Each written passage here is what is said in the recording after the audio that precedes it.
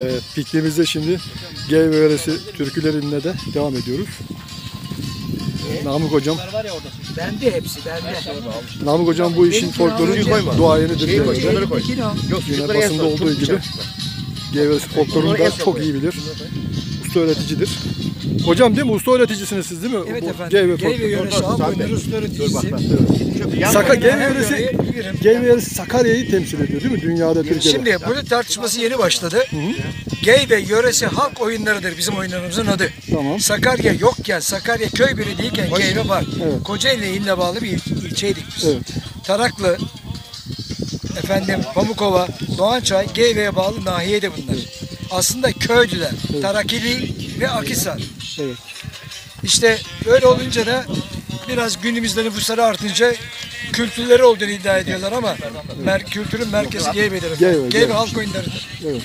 Bütün Türkiye'de dünya şeylerinde G ve yöresi Evet kaydı, kaydı altına alınmış. Evet. Ee, TRT Müzik Arşivinde bile Geyve Yöresi Halk Oyunları diye.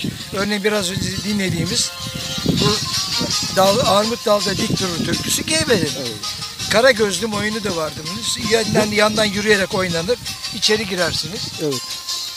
Bak bu iş böyledir. Bu bununla ilgili şimdi sizin çok çabalarınız var. Ahmet İşsever hocamı da bu anlamda. O bizim ustamızdır, ellerinden Kesinlikle öperiz. değil mi Ahmet O İşsever bizim hocamız? ustamızdır, ellerinden öperiz. Bugüne kadar çok emeği var. müzisyen olarak, halk oyunları usta öğreticisi olarak, Evet. klarnetçi olarak, kemancı olarak, davulcu olarak, Kesinlikle. oyuncu olarak kültürümüzü bugünlere taşıyan arkamızda yüzlerce adı sanı unutulmuş ama bu kültüre emek vermiş insanlar var. Aziz hatıraların önünde saygıyla eğiliriz onları. Çok teşekkür Allah ederim. onlardan razı olsun. Bu, Mekanları açık, bu açıklamanız için çok teşekkür ediyorum. Çok önemli. Bu Gey ve yöresi için bu açıklamanız Evet. e, belge niteliğinde aslında çok önemli bir, bir Teşekkür ediyorum. açıklamalar bunlar hocam. Ee, çok teşekkür ediyorum. Bizim görevimizde bir kültür adamıyız diye yola çıktıysak Evet. bunları da Evet. halkımızla paylaşmak Geyve halk oyunları deyince Namık hocam gelir. Tabii kesinlikle. Yani çok kişiler var. Evet. Evet.